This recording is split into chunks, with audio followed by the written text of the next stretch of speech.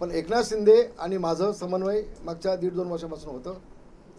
आणि मी आता पांडुरंगाच्या पंढरीत बसलो आहे आम्ही प्रामाणिक प्रयत्न केला की हा भगव्या झेंड्यामध्ये दोन भाग होऊ नयेत. मराठी माणसामध्ये दोन भाग होऊ नयेत.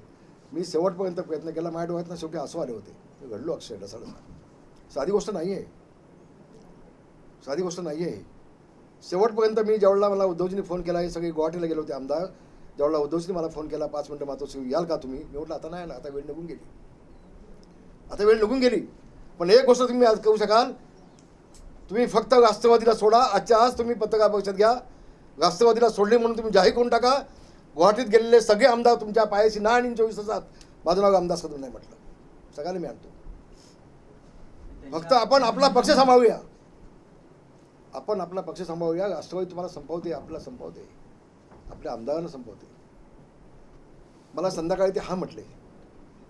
आणि दुसऱ्या दिवशी शरद पवार जेव्हा मातोश्री पोचले तेव्हा ते बदलले. गुलाबराव पाटील म्हणतायत की आई भवानीचा गजर म्हणजे झी चोवीस तास